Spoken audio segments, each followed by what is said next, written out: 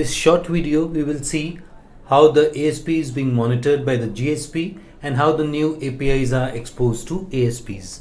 So first of all let us see how the GSP will be able to monitor the uh, data inflow and outflow of the various ASPs. This is the GSP admin dashboard. Here the various activities of the various uh, ASPs are available for him in a summary form like uh, in these cases uh, these are the the usernames of the ASPs and the total requests received and the data size of the data uploaded and the data downloaded by them. That way we can uh, see if there's any act activity which is out of the ordinary which is something suspicious is happening too much data uh, down being downloaded or uploaded. In that case we can obviously have the option of uh, deactivating the user we have the option of deactivating the user we can deactivate the user from there. So that is how we can control him. Other than that uh, we have the summary form uh, and as in when uh, there's some issue uh, we will get notifications about that. And even uh, by logging into the uh, screen we can see that. And this summary sheet can also be downloaded in excel format. Now the question arises how we will expose the various new AS, uh, APIs to the ASPs. So for that we have this what's new section. We will go here and here the title of the new activity that is being uh, done. So let us say API of GSTR 6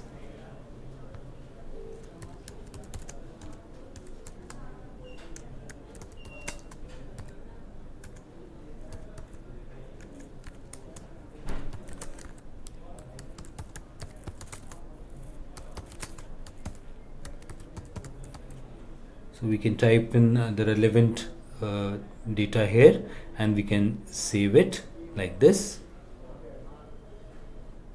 And once this is being saved here then it will be available in the panel of the ASP and he'll be able to know about that. And uh, separately notification will also be sent to him. So let us go to the ASP panel and see whether this information will be available to him or not. So we'll go uh, to the ASP what's new section? And here date wise these notifications are coming. So uh, today uh, let us see which is the, this new notification. This is of API of GSTR6 so again it, it will tell him that this API is not now available for download. And this he can be notified by way of email or some other means SMS etc also and uh, that way he can know that uh, these uh, new APIs are available. And also he can also monitor himself uh, how many requests he's sending to the GSP and the, what is the total data size of the data downloaded data uploaded.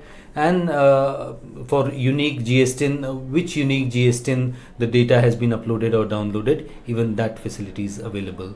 These are available to him. And this data again can be downloaded in the Excel format so this was how we can uh, monitor the various ASPs and also uh, let them know what uh, new APIs are coming.